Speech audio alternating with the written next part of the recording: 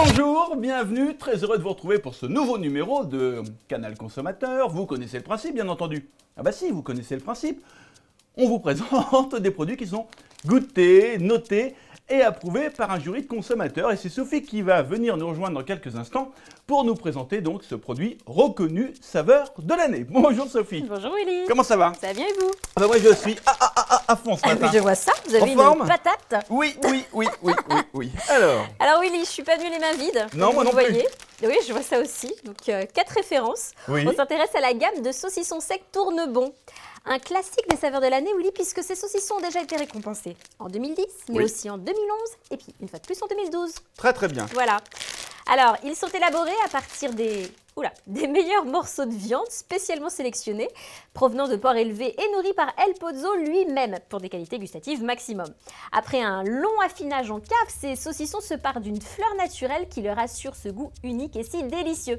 Une dernière petite précision, Willy, je vous disais qu'il y avait quatre références lauréates, je vais vous les préciser donc. Ben oui. La saucisse sèche euh, fouettec, le saucisson sec, la saucisse sèche et enfin la droite tournebon. Voilà. Mm.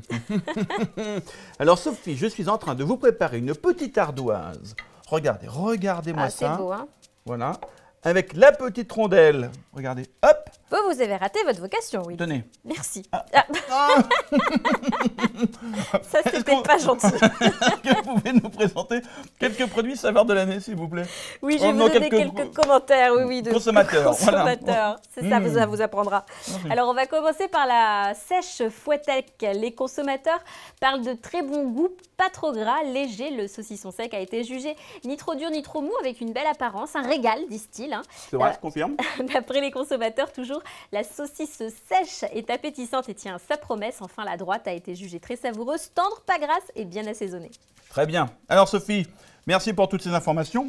Une petite tomate J'ose plus maintenant. Hop Une autre petite tomate Hop Une petite rondelle Non, c'est bon, j'ai compris.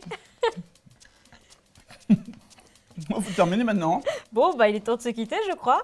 Hmm. On va dire au revoir à nos amis téléspectateurs, auditeurs. hein. Et à très vite pour un prochain numéro de Canal Consommateur. Et on vous embrasse. Au bye revoir. bye